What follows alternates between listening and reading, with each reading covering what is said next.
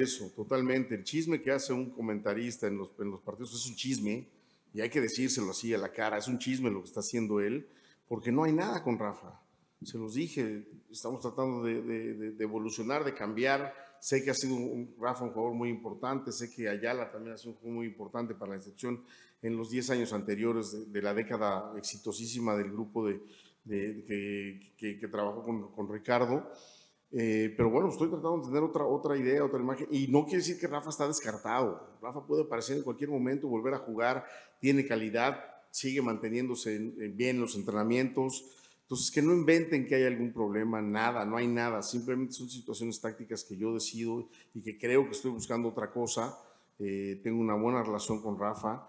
Eh, yo, como digo, con algunos jugadores puedes tener una mejor, un mejor diálogo, mejor plática que con otros, pero eso no quiere decir que estás peleado con nadie, ¿no? En este grupo, afortunadamente, he llegado a un grupo extraordinario, lo he dicho desde que llegué y lo sigo repitiendo, un grupo extraordinario que trabaja, que se compromete, y Rafa es una persona así, comprometida.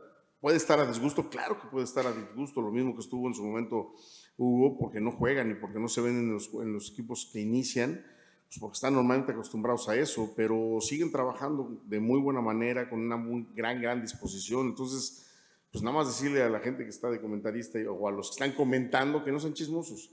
Que digan que no juega, bueno, está bien, pues si no juega, pues no parece, pero es decisión 100% táctica, nada que ver con lo que, la gente está hablando. Con Rafa, reitero, hay una buena relación y, y, seguimos pensando que es un jugador importante y que en cualquier momento puede volver a aparecer y con la calidad que tiene volverse a quedar con el puesto, ¿no?